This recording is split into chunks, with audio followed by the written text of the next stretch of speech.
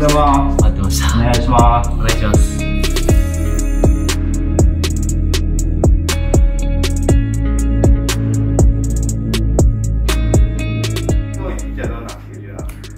今日一日はえーと今日は朝練がないんで、午前中に、あのー僕、会会場入りする時とか会見の時とかスーツ着てるじゃないですか。はいそのスーツを今回も新しく新調するのに、あの、銀座のオーダースーツ屋さんにちょっと予約入れてあるんで、そこでちょっと新しいオーダースーツを頼んでから、1時から、あの、打撃の練習ですね。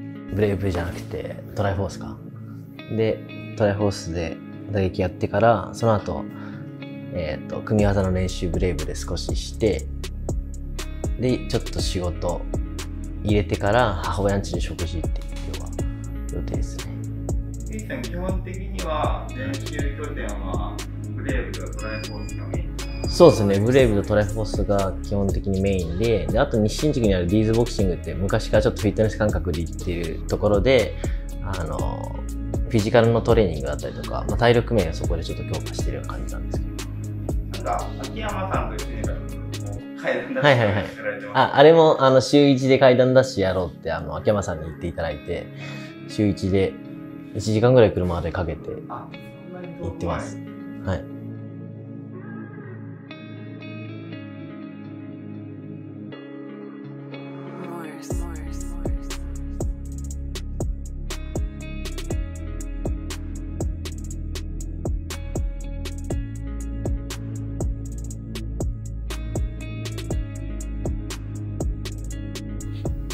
何着ぐらいあるんですか？わかんないですけど。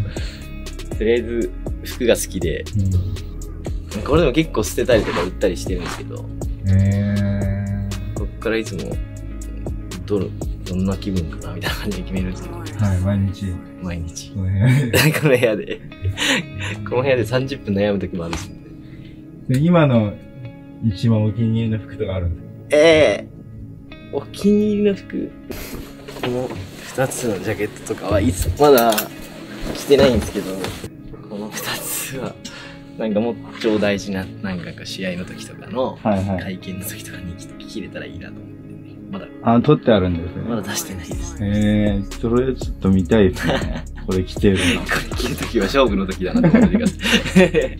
いいですね、これ。いいですよね。そう。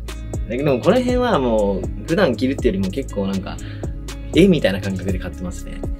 あー、コレクションコレク的な。ション的な感じで、、はいつかまあ、なんかもっといいとこすんだろう。飾ったりとかしたりとかして、はい。絵見てる洋服とか見てる方が僕好きなんで、あ、なるほど。なんはか超かっこいい服見ると高くても、これとか300万とかするんですけど、なんか、それでもかっこいいから、家にい。うん。宝として置いておくみはいたいな。はいはい。で、なんか本当大事な時にあったら着るみたいな感じかなと思って、今日はこれでいきます。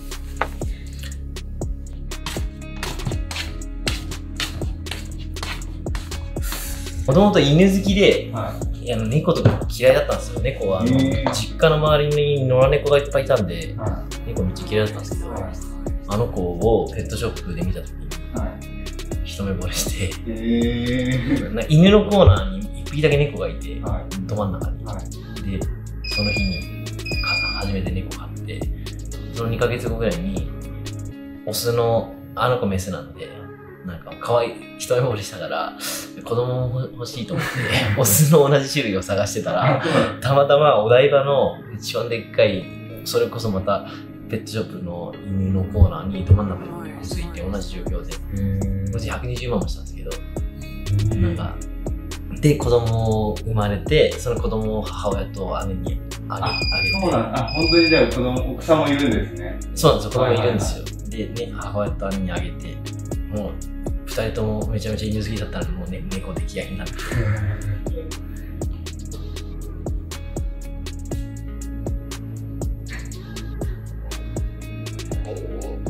僕の YouTube の、あ、すみません、メンバーです。お願いします。